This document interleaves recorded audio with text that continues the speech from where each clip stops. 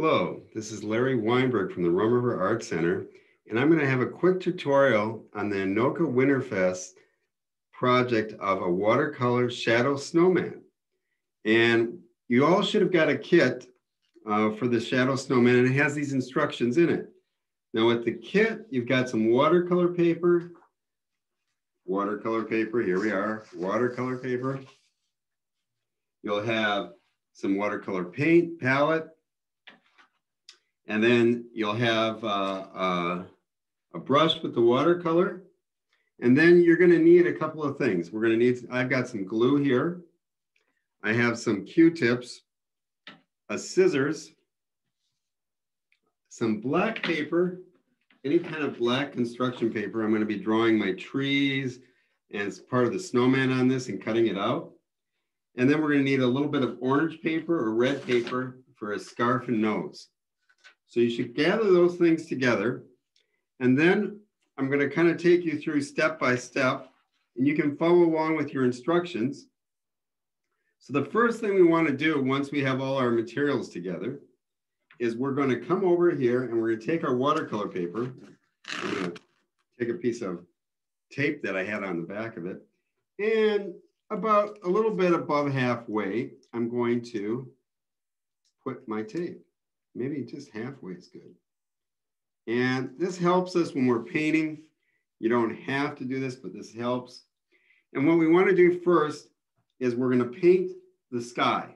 We're going to paint the sky first. And then what we're going to be doing, I better get my instructions underneath my tape.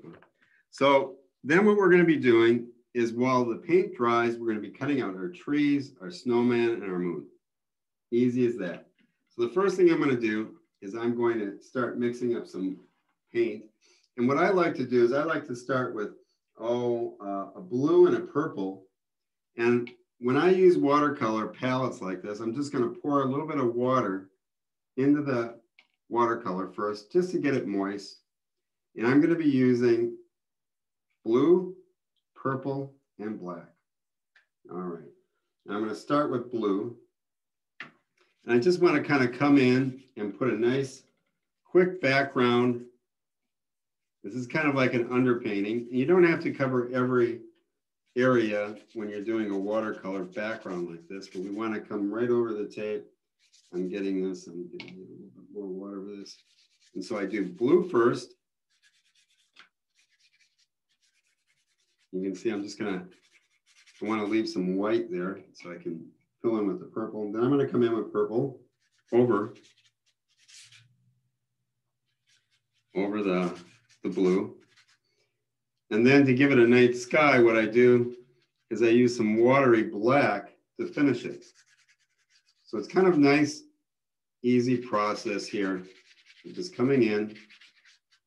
I'm doing, as you can see, first purple and blue.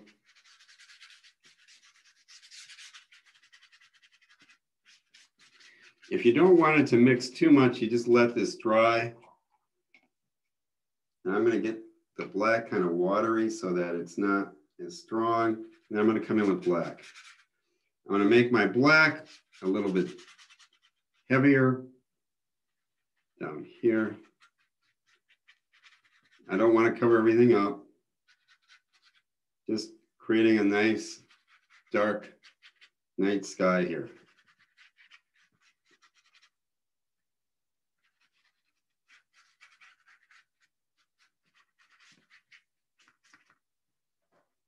You can see we've got that pretty much complete, just like that.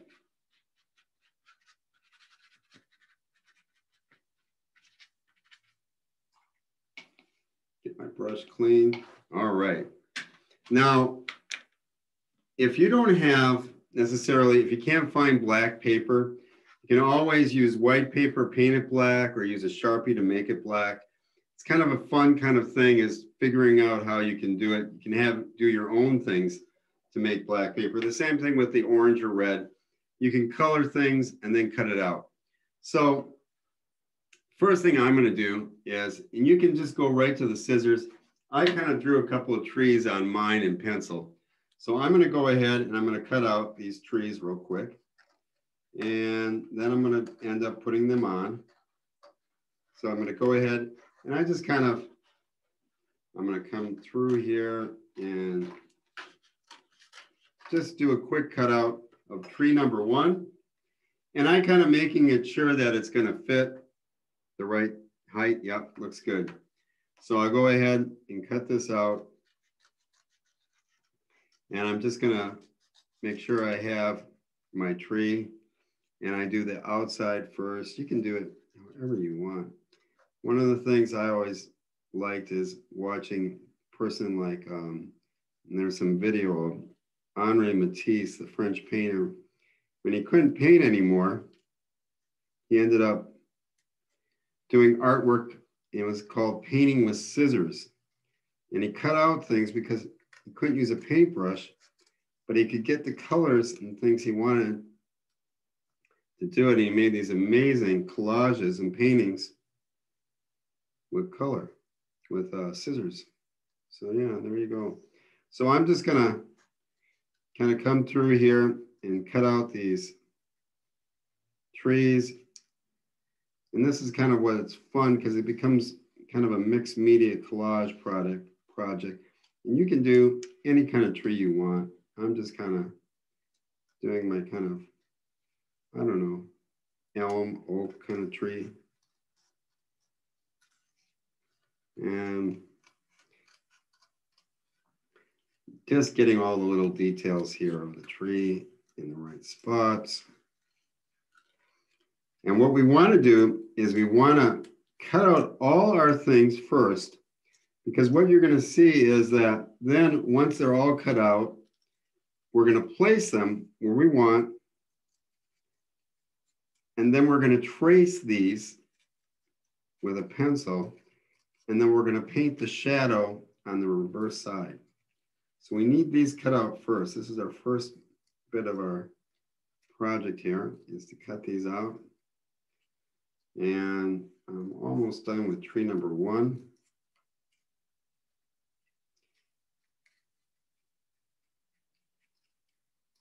Okay, so there's tree number one. It's not greatest tree. Is it gonna go over here? I think so.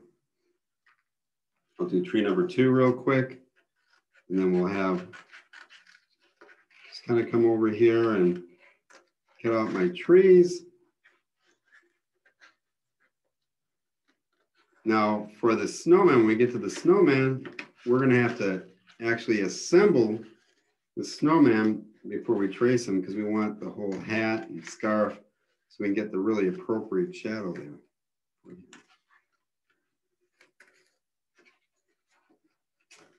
Don't want to cut off any of my branches. Got to be careful here. Need to make sure that I come in here, my scissors, I see if they'll cooperate.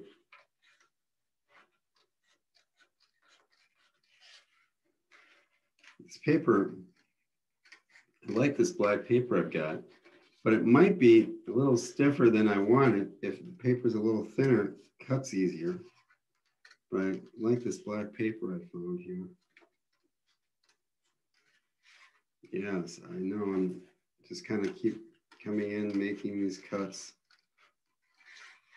I kind of have an idea where I'm going, but then I'll easily kind of come over here and make some changes and kind of come changing the way the branches are.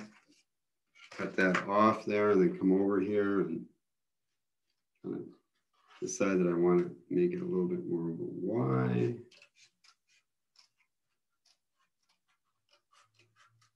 We come over here.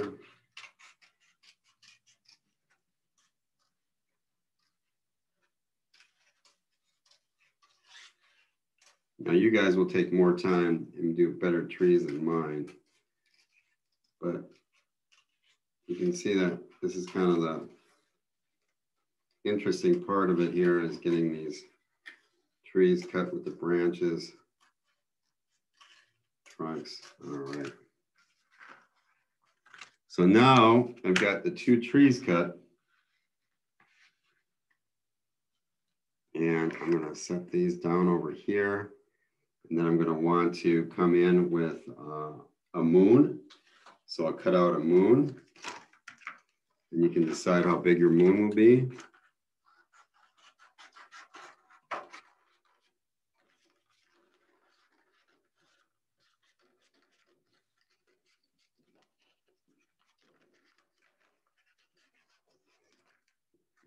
Back there.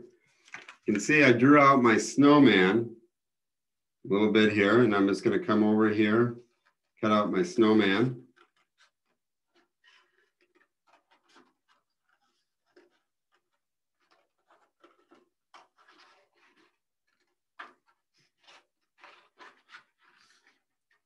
Mhm. Almost cut off his head. Snowman without his head, that would not be good. They need their head.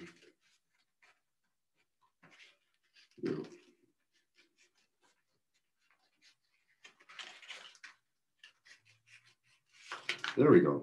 All right. So then I'm going to go ahead, get my snowman where I want it to be. Then I'm going to go ahead and cut out a hat. I think I drew a hat somewhere. So I'm going to cut out his hat. I need a little bit of doing kind of a snow stovepipe. You can do like a stocking hat or whatever kind of hat you want for your snowman. And whoops, I dropped my hat on the floor. Okay, I'll put my hat, see that hat works, yeah. And then he's got you're gonna need some buttons.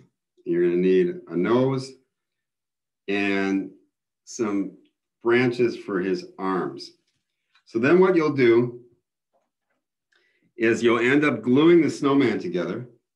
And I'm just gonna make this so we can move along here. I'm gonna remove this one and put my already made snowman over here. Kind of place things. So this is where we wanna place things. You want to place them right along the line of the tape. Now, what I can do is I'm going to go ahead and remove the tape. And I'm going to get an idea where they're going to be. And then I'm going to flip them over. I say, okay, I want it right there. Okay. So this one, I'll come, I'll flip it over like this.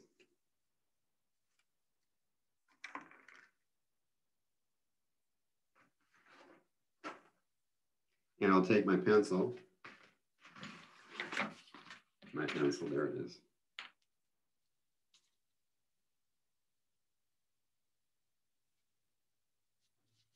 Making sure, so this is gonna be here. We want that right like that. Yes, that's it. Okay. So I'm gonna draw this out. This gives us, you wanna draw lightly on the watercolor paper. And then we're gonna make some gray. So you see, how do you make gray? Well, you do a watery black, becomes kind of a gray, but you don't have to necessarily have a gray. You can do your shadows purple if you want. It doesn't really make a difference.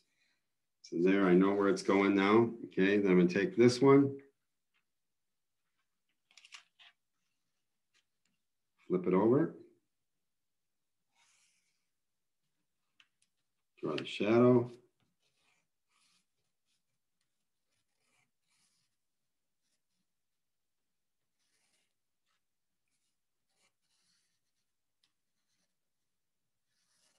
I'm just tracing this, the edges, trying to.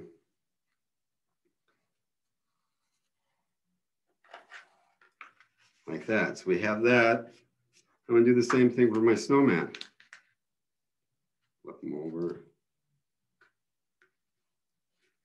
I had them placed by just tape on the back.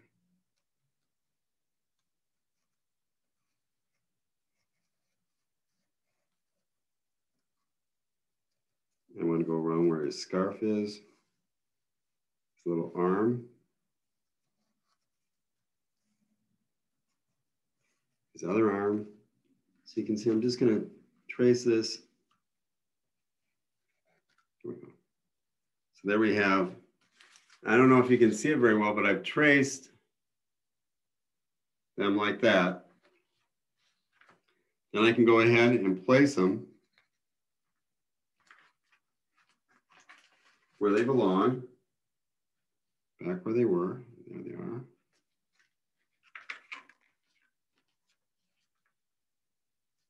Okay. Now for glue, a lot of times I'll use a Q-tip for the glue to glue the things on. Now I'll be gluing these on in a second here, but I want to first get this place. So then to get the shadows, I'm going to take a little bit of black. I'm just putting the water in and then I move it over either to the tray top or right here in the center. And I'm getting a lot of water. I want it to be mostly water so then I can see, yeah, see it's nice gray tone here. So then I'll just come in here. I'll be using that right there and I'll just come in to create my shadow. Like I said, if you don't want to do it in gray, you can do it in purple or brown.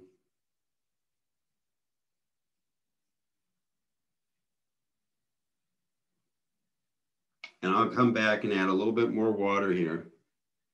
So the snowman and the trees will be all in gray. One of the things to make sure that it's kind of watery and a gray, you can paint with just water the tree. And I'll show you that with the snowman. I'll do the snowman that way so you can see what I'm talking about. And then you know that it's not gonna be too dark. So I'm just gonna clean off my brush. I'm just gonna put water where the snowman is here. Just water where the snowman is. And I'll go and grab this and there I can just do it like that.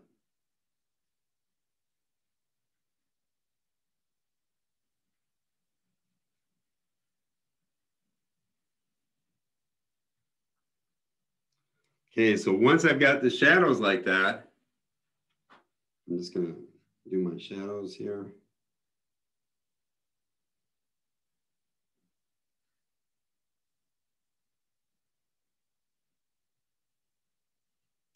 Perfect. Okay, now just to finish this off, what I'm gonna do is I'll take my glue. Hopefully this got some glue in here. And I'll start with the first item. Oh, this glue looks like it's all dried out. But, yeah, it is. So take the glue and you'll glue the moon, then the trees, and then the snowman. So then you have, you're completed and you can always add your own little details. But the project is pretty much complete once you've glued everything down. So that's our quick, fun tutorial on creating your own watercolor shadow snowman for Winterfest. I hope you enjoyed this. And if you have any questions, you can please contact us. We're over here at the Rum River Art Center and we can help you out. Maybe if you need supplies, some little help with glue or whatnot, we're here to help. Thanks a lot.